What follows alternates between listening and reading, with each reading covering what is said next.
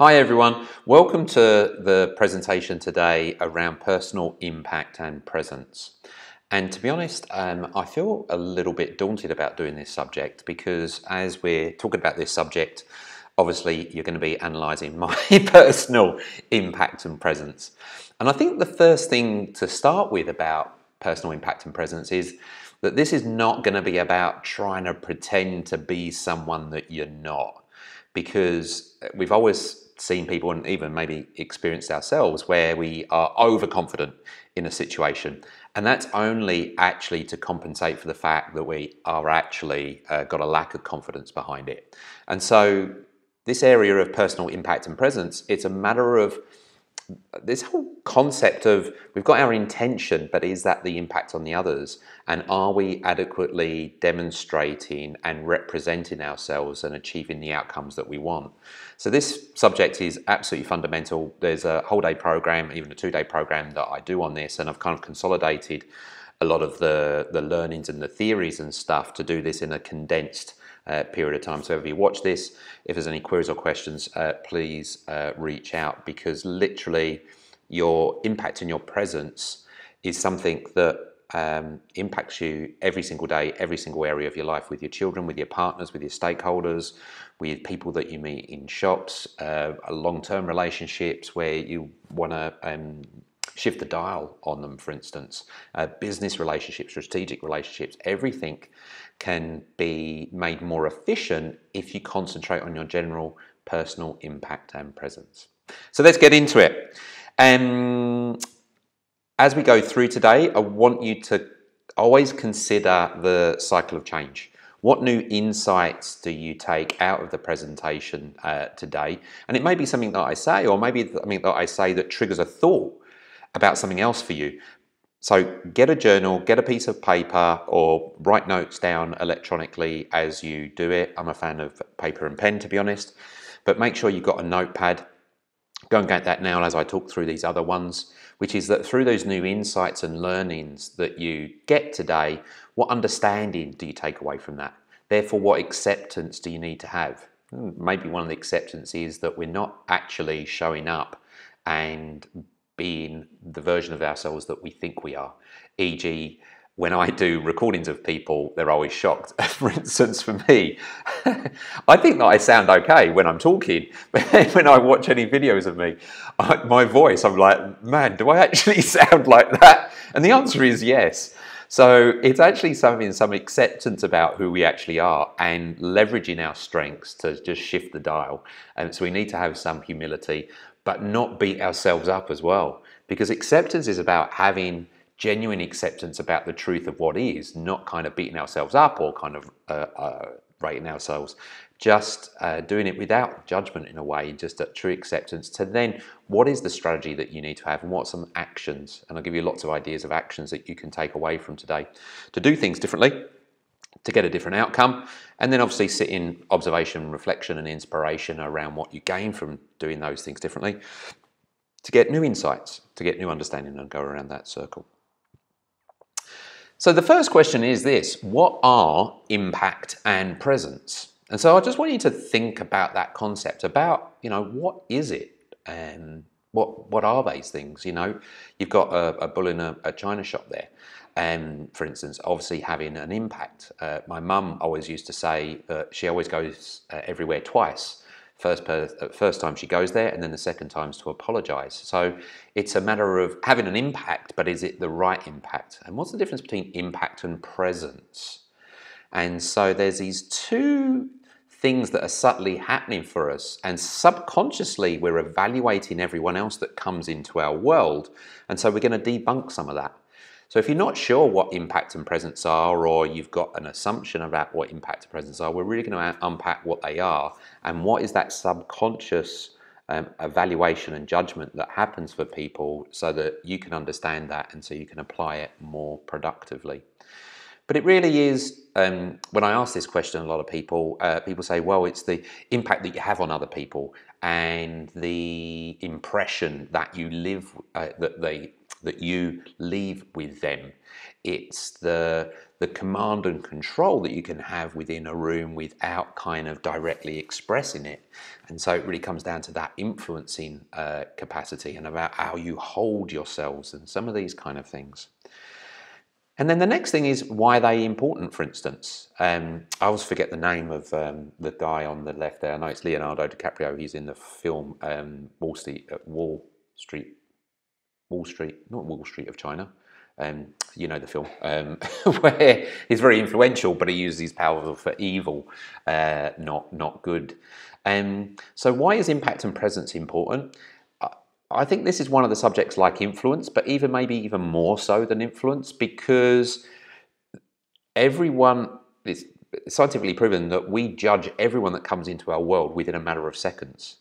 So everyone that you interact with on a daily basis is doing that judgment. So if you want to improve any area of your work life, professional life, career, um, personal life, etc., that let's go with one of the common factors across all those different situations. And so it is about achieving the ultimate outcome that you want. Because if you focus on impact and presence, that builds trust and confidence that builds clarity, and then that leads you to the results that you kind of want to achieve. So ultimately, why is it important? Is because it is more effectively achieving the things that are important to you, working with others, and bringing them along on the journey.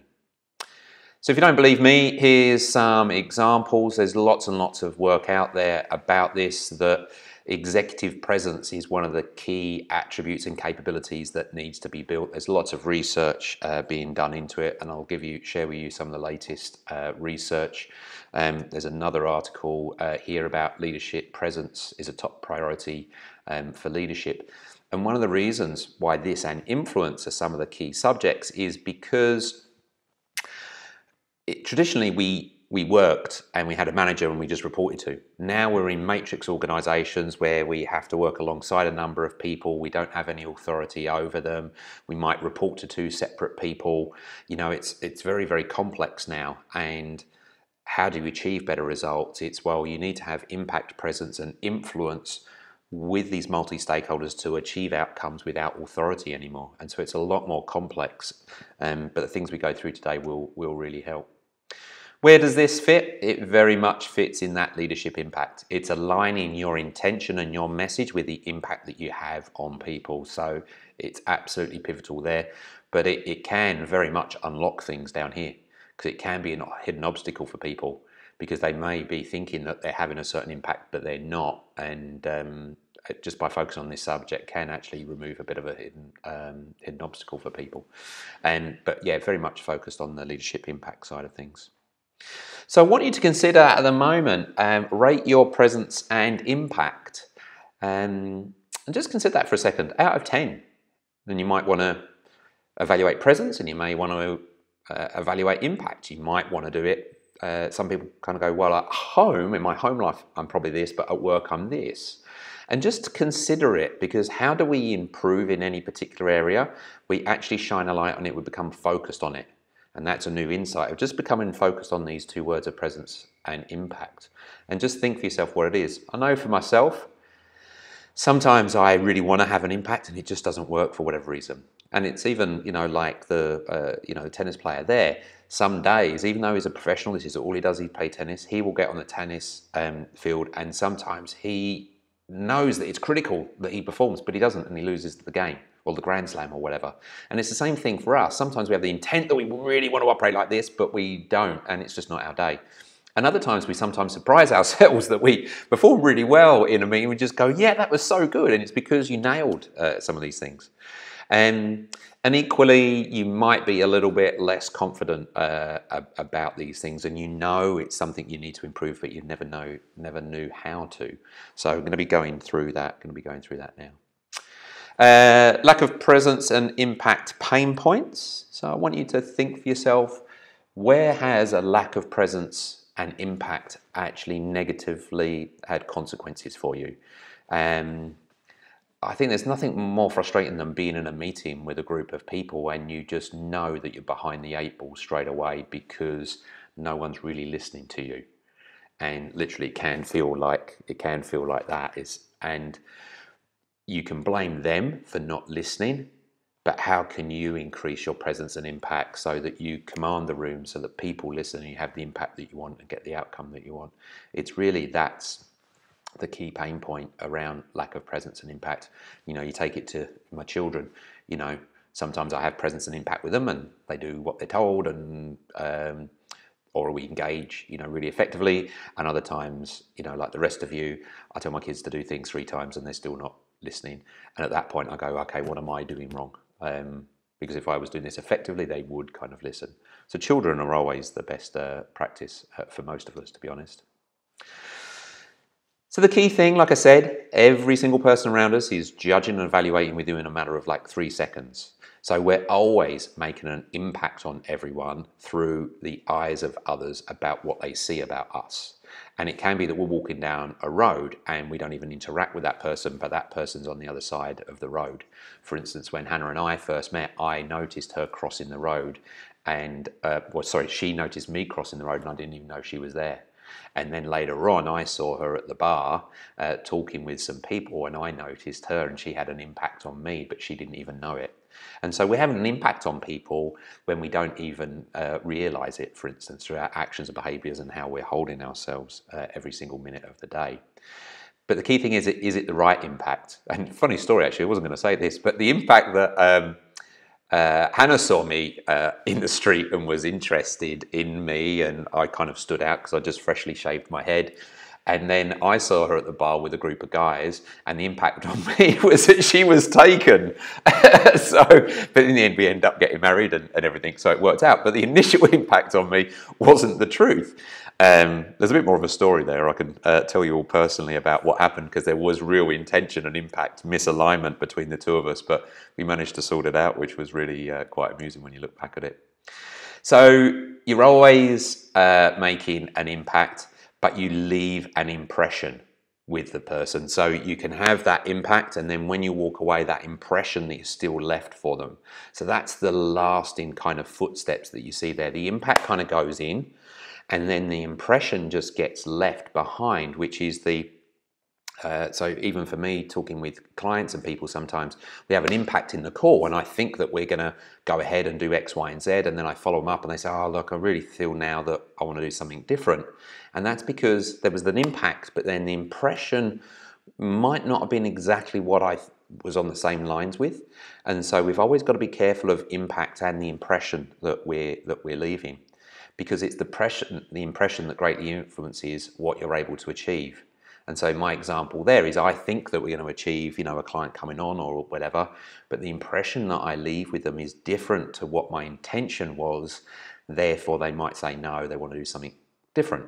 So I need to go back and re-clarify intention and impact, and is that right from yes, no, or indifferent? So that's where impact to impression to, to, to achieving the result that you want. You need to actively manage this perception that others have of you because if you don't, you can't afford to leave it up to chance. If you're leaving it up to chance, you know, I suppose that is a strategy at the end of the day. You could leave it up to chance, but actively know that that's what you're doing. But I would say that if you want to ensure someone feels that they feel loved, then have that as an active uh, driver for you. And I believe principally about consciously making decisions and actively uh, kind of going about it uh, but not just doing action for action's sake. Make sure it's aligned with you, uh, and then kind of going ahead uh, because you can't afford to leave it to chance. Is is, is my view about things. So impact and presence. It's not what you have, but what you do. So uh, some people kind of feel like you've either got it or you haven't. Uh, there's skills, not talents. You can actually train in some of these things, like influence, night negotiation. There's frameworks that we can use to break it down so that you can more consciously apply it and get some tips of achieving a greater level of impact. This is not about changing who you are. It's about making sure that you shine up in the best version of yourself. Yeah, and they can be learned, which I'm going to be going through now. So the first thing that I want you to consider, there's probably three major, four major things that we're going to do today. First of all, we're going to consider what are the characteristics of leaders with impact and presence.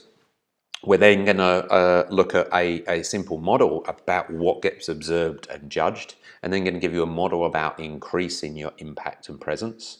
Uh, a really simple model uh, around that, and then and then fourthly, going to be giving you a whole number of different strategies and things to consider that are tips for you uh, to do that as well. So that's the breakdown those four things.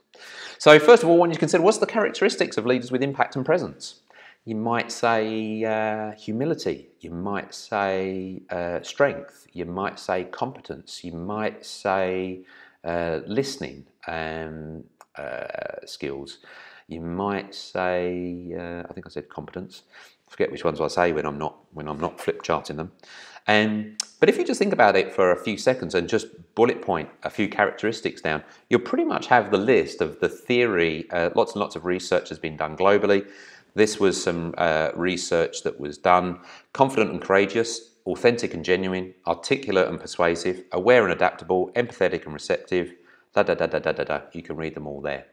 So these aren't rocket science, but they're common knowledge, but they're not common practice. And what we need to do is we need to look at these characteristics and say to ourselves, yeah, what ones are the ones for me that are holding me back? Which ones do I need to focus on more to have the impact that I want?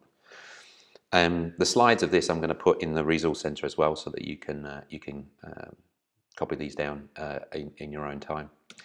Um, there's the Bates' model of executive uh, presence, which I can't remember the, the basis of the, the study that was done to analyze uh, everything, but they came up with these three um, areas of character, substance, and style. But again, very similar words authentic, integrity, concern, restraint, humility, practical wisdom, confidence, composure, resonance, vision, you know, having that high profile vision, appearance, intentionality, inclusiveness, interactiveness, and assertiveness.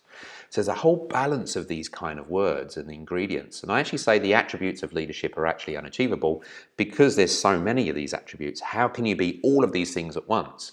But it's about picking for you which ones are the most important in a, in a particular situation, again, to get the impact that you want. So maybe um, write these down and pick out the ones for you that you really feel like are the focus uh, areas for you. And I'm going to give you a model about impact and presence so that you consider which of these characteristics you need to focus on depending on the spectrum of where you need to be for impact and presence. Uh, and again, these are in the slides in the uh, resource room for you. So let's get really real. Speaking with leadership impact, let's get absolutely practical and really basic as well, uh, because it's the the basics, the fundamentals is where you really make change. So ultimately, there is three things with impact and, and, and presence. Is that when we judge someone, we're looking visually at them, we're listening to their vocal and their verbal. Yeah, so it's the visual, vocal, and verbal. So the visual is what they look like, um, and we judge quite a lot on people what people look like. Are they dressed and are they acting and behaving in alignment with their surroundings? That's the most important thing. Because if you think about it, if you kind of go, well, in a boardroom, if a person started running up and shouting and, and, and jumping around and getting really excited, is that appropriate? You know, from a visual perspective, no, that's kind of not appropriate at all. But if they were watching a game of football, totally appropriate. Could be a business um, uh, function in a box, for instance. So they're still in business, but different environment. You know, they can they can dress differently, they can present themselves differently. But visually, we very much uh, judge people from the information that's kind of going in through our eyeballs. The the vocal is the the, the tone, the pitch, and how we're actually uh, speaking. And then the verbal is physically the words that we are using. So vocal is uh, around uh, the accent, the tone, the pitch, the uh, pauses, um, and the verbal is the, the words that we physically use. So it is these three V's um, that we're judging. And so think for yourself, are these three congruent with you? And one of the big things about having leadership impact and presence, I find, is actually just slowing up a little bit more and being more yourself. Uh, that's uh, that's the, the, the key of these three. So these three are always playing out. So just have that as a model that's that's kind of locked away. Uh, I think they're they're, they're pretty uh, self-explanatory. You can Google lots about how you can improve in these areas or more information on any three of these areas. But just realize that these are the three V's that are always being uh, always being judged. The thing is, people form lasting impressions in just a few seconds, as I've said, and there's two, uh, and it's the Harvard Business School uh, did the research around the two main factors, and these are it, which is 80% of your impact relates to warmth and strength. Some people say, what's the other 20%? The other 20% is a, a whole category of, of smaller things, but 80% of your impact and presence is evaluated by other people's human brains on the basis of how warm you are to them and how strong you are. So it's this kind of balance between these two things. Um, so this is the second key model. So we've got the characteristics, we've got our visual, vocal, verbal, and then we've got this, which is about warmth and strength. And I'm going to talk about how the other two kind of uh, come together um, with this about how we can improve our impact because 80% of it is just on this warmth and strength kind of aspect. Okay. So, um, Amy Cuddy from Harvard Business School, when we form a first impression of another person, it's really a single impression. We're really forming two. Yeah, it's not one, it's actually two. We're judging how warm and trustworthy the person is, which is that human connection. One of the fundamentals about humans is we want connection. And we're also trying to answer the question what are the person's intentions towards me, which is the strength uh, uh, kind of um, com comment down here.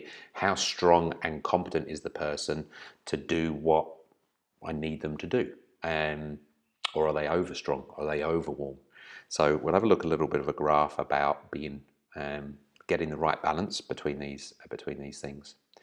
The judgments, the judgments we make of others are rarely conscious and deliberate. Like I say, 90% of your thoughts, actions, and behaviors are run by your subconsciousness. So that's where delving into a model which happens in people's subconsciousness, which is really, really powerful.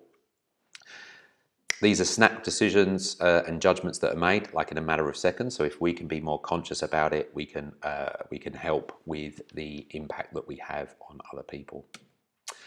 If you want a bit more information, there's a couple of uh, very good uh, books here, uh, Connect Then Lead. Um, yeah, uh, Presence. That's another uh, good book by Amy Amy Cuddy as well. You can get uh, Harvard Business Review articles on some of this stuff uh, uh, as well. So definitely do some some uh, more reading. And there's also just some really good articles there. Strength versus the balance of the best leaders find. And because this research shows that 80%, now you found a lot of other people writing about this subject. So feel free to do more reading at your leisure. Um, so if we've got these two areas of focus between strength and warmth, sorry about the H moving over, um, where they collide is what your impact and presence is. So however you get that balance right is what your impact and presence will be. And you can leave it up to chance, or you can be more purposeful about it and consciously choose the impact and the presence that you want. So how do we, uh, well, I'll get onto that in a second, but this is what I'm saying around you can be too strong and if you're not warm, for instance. So if you're really, really strong, but you're not warm to other people, you will create envy in them and fear because you're just false, false, false, no connection with the person. Or envy can be, oh, look at that person doing all that, and they're envious of the person striding uh, forwards, not having due regard of other people. Um, where we have people who are really, really warm and lovely and oh, and everything else like that, but they're not strong, those people tend to get taken advantage of because they're not strong. Therefore, we kind of pity uh, those people. And then when we have people who aren't warm to us, who are disconnected with us, and they're not strong and they're weak, we can kind of have contempt for them because they're not just very nice to be around. There's there's nothing to kind of work with. Whereas the opposite is admiration where someone is, you know, you talk about leaders of the time, these are leaders that actually connect with the hearts and minds of people, but also give them the confidence and the strength that they're going to achieve it. And so it's this balance of things that admiration is, is kind of the focus, which is being the executive uh, versus inspirational leaders very much need to sit up in that that top quadrant um, up there, which is you've got the strength to deliver, but also you're connecting with people's warmth. Because if you're just strong and not warm, people think that you're just there to take advantage of them. But if you're just warm without the strength, they go, "Well, he's a nice guy, but can never achieve anything." So uh, it's a matter of, of being being up there in the, the top right hand quadrant. Uh, again, lots of uh, research and and, and uh, other other reading about this um, that you can that you can do. It's a really good subject to, to do a bit more on. Um, key thing is if you don't sound and look like you're confident, they will think that you're not sure. And if you want to focus on confidence, we've got the confidence training in removing hidden obstacles as well, which this one does kind of link with. So you can watch. Uh, feel free to go back and, and watch that one as well. So we've got this strength versus warmth and we've got a spectrum. So think about the words, the characteristics that you look in someone where they're commanding strength. What do you think we look for? We're very much looking for competence, that they're strong and they're intentional and they're focused and they uh, they excel and they can actually give us results and, and give us what we need. And so these are some of the words that we've got over here on strength that you need to be demonstrating confident, authoritative, competent, knowledgeable, assertive, intelligent, challenging, and powerful. Yeah, good list of words. But if you all of that without the warmth, you're going to come across as a self-serving kind of a person that's only after the result and not connected with the with the people. So, what's some of the things around warmth that come up for you? So, warmth when we're feeling really connected with someone, we feel that we're listened to, the person's empathetic, they're connected, they have time, um, they have presence with us. And here are a load of words of characteristics to focus on the warmth end of the spectrum, which is that they build rapport, they have the time to do that, they're a good listener, they're collaborative, they're helpful, they're caring, they're open, compassionate, positive, empathetic. And when I did the training with these um, very strong executives the other day, someone came up with a word, what was it? Um, was it compassionate? Uh, it was another emotional word um, that was about expressing love, basically, and, and real connection to others, which I thought was beautiful because it does need that. Um, and wherever you are is the trust. So it's not about all one or all other.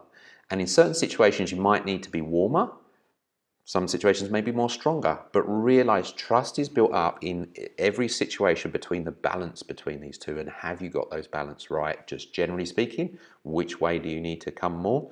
For instance, for me, I was more stronger and I needed to become more warmer. Um, and uh, certain situations I need to obviously adjust and, and change as as needed. But for you, just consider the different situations, the impact and presence you're having. Where do you need to kind of dial it up?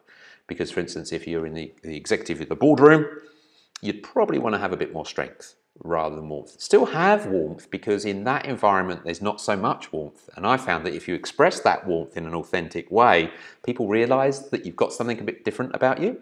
So it's still being about being yourself um, and not just living the expectations of others uh, doing the way in which uh, you want. Whereas if there was a major uh, team challenge or issue, you would probably want to go to the warmer to connect with people uh, more, for instance.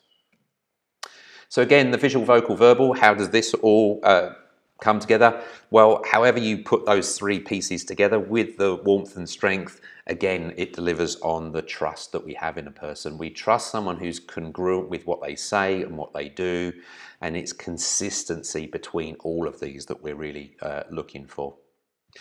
So now what we're going to do, communicating key message concisely and clearly, what do you need to consider? So what I'm going to go through now is a number of strategies and ideas and concepts of things that you can do to be more effective. So they're the models and these are some of the tools and tactics and strategies to use to be more effective. So um, a bit of a smorgasbord of things. So write down the ones for you that you think have most uh, most resonance. And the first thing, in actual fact, in having impact in presence is first of all forming a powerful coalition. So leading change and the stakeholder mapping stuff we do is that identify first if you want to have impact in presence, identify first the people who for and against and actually build up a bit of a coalition before you do it. one of my um, training in, in, in, around the boardroom was never put forward a motion that you haven't behind the scenes been working with on people to be supportive. So when you say, I think we should do this, you've got someone saying, yes, I think that's a great thing um, that because they're kind of backing you up. So first of all, make it easy for yourself by working with people, building trust one-on-one to build a powerful coalition behind the things that you want so that when you put them forward, there is this strong impact around, wow, this is the really the way that we should go. So consider who's for and who's against and work with them individually behind the scenes. That's my first tip. Um, why make it hard for yourself? Um, on the effective strategies, it's about being concise and precise, speaking with conviction and absolute certainty. So the assertiveness model that's in the influence, you start with your conclusion. You give three points of explanation and rationale, and then you ask a question leading people in the direction that you want to go in. It's about being concise. There may be 15 reasons why your recommendation stacks up, but there's always going to be a top three, and there's probably going to be one that no one can actually argue with. So just go with that one point, get people onto that one point or the three. It's about being concise. I always just bullet point things out. Okay, what's the main thing here, here, here, and here that we need to do? Um, this is something we have to do. We need to move uh, forward without delay. This is an opportunity we have to take if we're going to maintain our competitive edge. Yeah, simple statement, very focused. We've got to move without delay because we don't want this, therefore we need to do this. Let's just move on rather than going around and around and around. Uh, have a convincing rationale with evidence. Like I said, the facts speak with themselves. And if you can draw it not to your opinion, but to say, I think we need to do something because our performance has dropped by 30% over the last three months and we haven't seen that on record. Very convincing. Oh, wow, we need to do something about it. And it's said not in an arrogant manner, but just in a factual manner. And also, when we're talking about ourselves, it's also the, the facts speak for themselves. I've had 15 years' experience of X, Y, and Z. I was educated at Thingy. I learnt this, and I got awarded this uh, for doing these types of things. It's it's like the factual basis that substantiates things. It can be very, very powerful you know, a couple of statements there that you can use. Well, let's take a look at the metrics. Let's see what the information's actually telling us. Uh, let's look at the data that's substantiating uh, the reasons for blah blah blah. So focusing on the focusing on the data. Balance your arguments with contrary opinion. Consider presenting your proposal as analysis. Let's weigh up the pros and cons here. I always say never never put that you. A lot. I hear a lot of people going, "We have to do this." And as soon as I hear that, I'm like, no, we don't. we don't have to do anything. We could close up the company. We could, you know, stop this relationship right now. We could do any number of things. So when you ever feel there's one, there's always multiple options. And there's also lots of alternatives out there. And so actually be balanced with that to say, hey, look, you could go this way or you could go this way. And I'm feeling that this way is a better way of going, and then use the rationale in the effective strategies before but give them. Because if you empower people with the control to make the decision they will feel less threatened and then you can lay the breadcrumbs to influencing them along the right way. And you're leaving that impression that you're not someone who's just forcing your views on other people that you're giving them the autonomy you're giving them the respect and uh, and uh, also respecting their role and their status as well by going yeah we can do this or we can do this. But my views are these about this uh, for these kind of reasons because of this on this side and just being pragmatic with that is a really good impression to leave with the person because they're seeing you as a trusted advisor. Reduce and sim simplify and keep your point strong. Again, it's very similar to the other point. There are three reasons why we should do this. Uh, three is really key. I just kind of find if you do one, then people kind of come back with one. If you go with two, it's you know it's better. But three uh, and i think there's some research done that if you give three points of rationale it's like 90% likely. You've got to be careful sometimes that you're not uh, faking those three. I've seen people pick dubious just to get up to three dubious points. Don't do that because people will undermine it but be clear about the things yeah? Um, too much detail uh, often confuses and overwhelms. Um, so keep it simple stupid um, the knowledge value chain. So down the bottom here, the data, the information, the knowledge is what we tend to work on when we're uh, looking into anything or doing anything. We focus on the data, the information, the knowledge, because we, you know, maybe want to recommend something. But when we're recommending anything to other people, they're not necessarily interested in the data, the information, and knowledge. And I even have this with my wife where I start explaining, oh, I've looked at this and this and this and this. And she's like, Robin, get to the point. Because what other people want is they just want our intelligence to make a decision, to go into action, to create the value. That's where they're at. We've done the hard work in the blue. We need to let go of that and go, how do I translate my data, information, knowledge, and everything that I know into in intelligence and express that intelligence so that we or they can come to a decision and an action to create the value. The green is the really, really powerful. This triangle is really, really powerful in this way. And um, so definitely use that because too often we leave a bad impression, not a bad impression, but not as an effective impression when we focus on the blue. It's about focusing on that green, and we all get caught into that. Uh, uh, we all get caught up into that trap. Um, other effective strategies: sell the benefits, obviously. Uh, this will allow you to significantly improve the efficiency of your processes and make it easier to hit your demanding KPIs because we're drawn towards the benefits um, of the thing for a person. Um, so let's just talk about what a feature is versus what a benefit is. So the feature of this is something that it is. You know, an apple, it's low calorie. Great. So what? It's something that's that's factual. That's it is it is what it is. Uh, we always used to sell on features. You know, buy this computer that's got all these kind of gadgets and widgets and stuff. Okay, great, they're features. But what we're really interested in, what the benefit is. A benefit is what something does.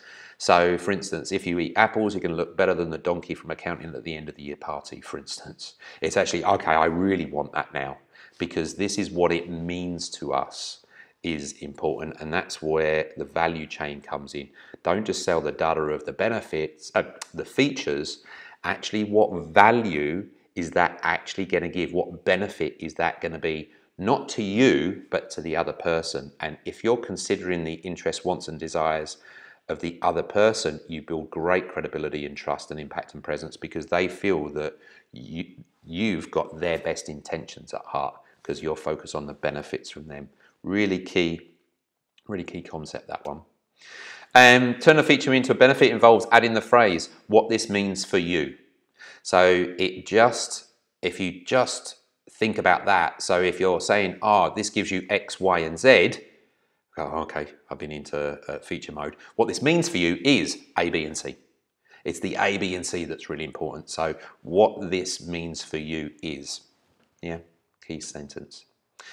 Uh, understand their decision-making criteria. Sometimes we um, we can not have the right impact because we're thinking that the person's got the decision-making power, but they don't actually don't have it.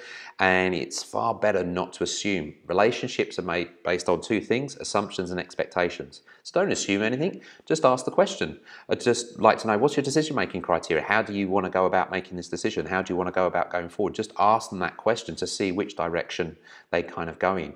How will they decide whether to say yes or, or not to this? What's the criteria they will use? Because then, again, you're putting yourself in their shoes, which makes them feel that you're got credibility, their best interests at heart, and you're going to leave a more positive, lasting impression with them.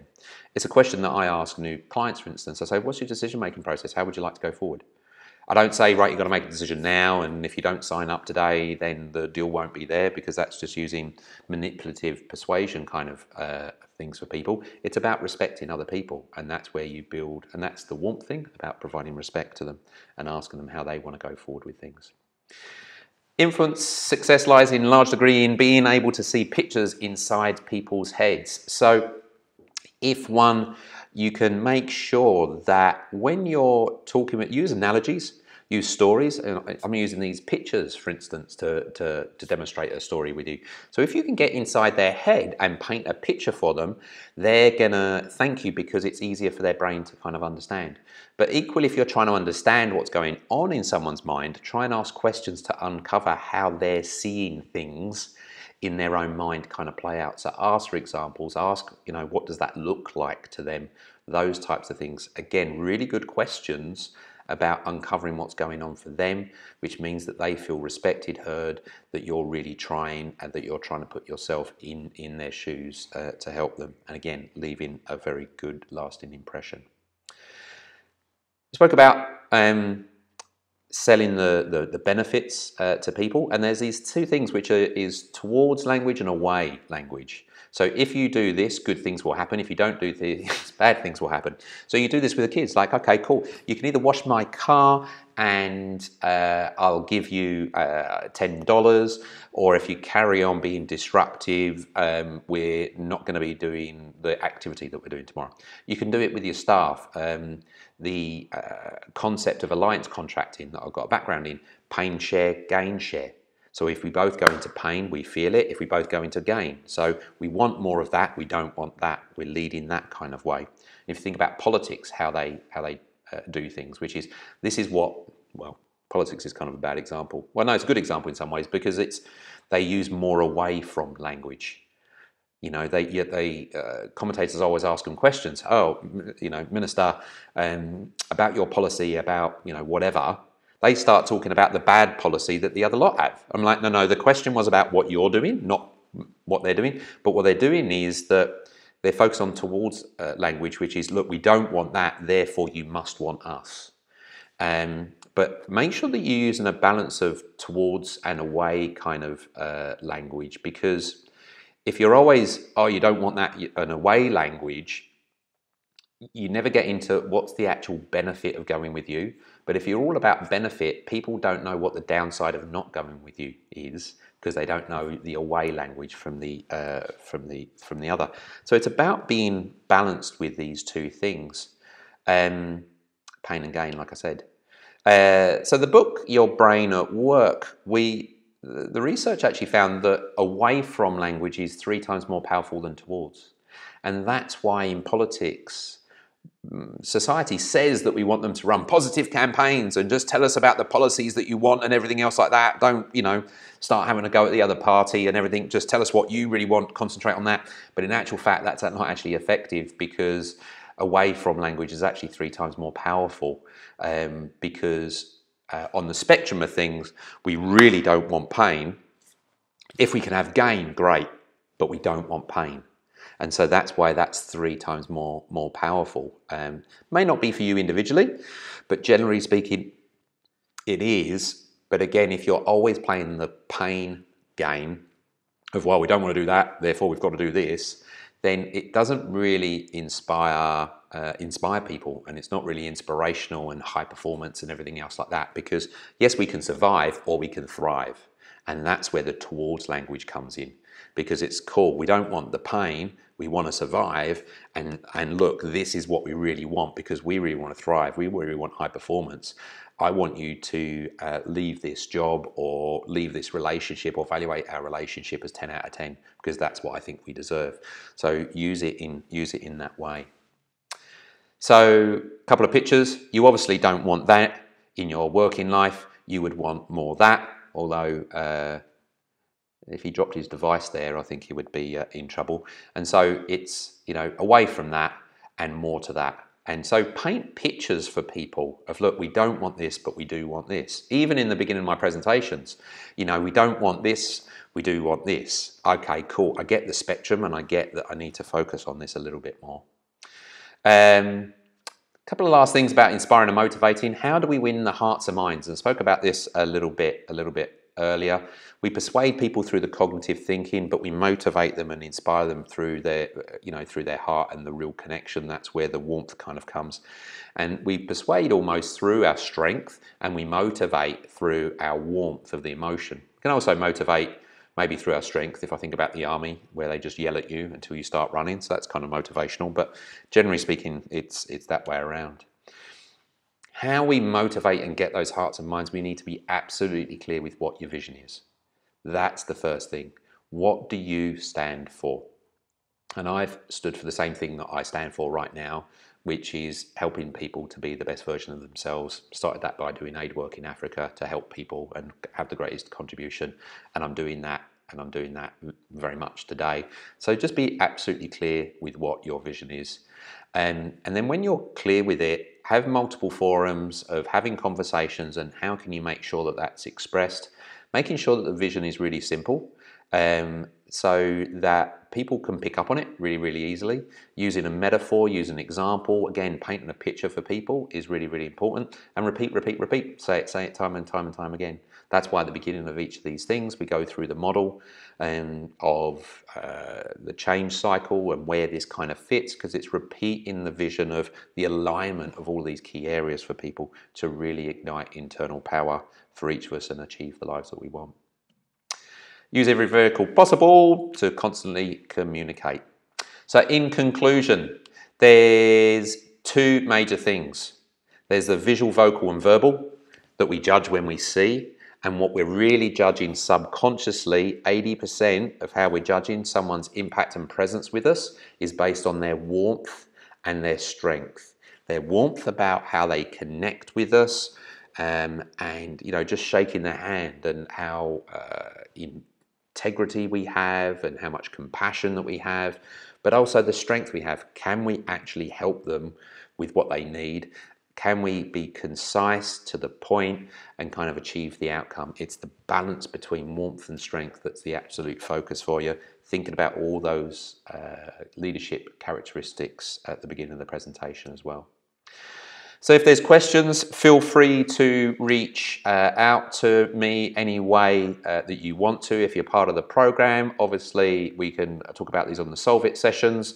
Um, you can also uh, raise any questions on this on our one-on-ones or just reach out to me via phone, email, etc. And I look forward to seeing you next time. Cheers guys. Bye now.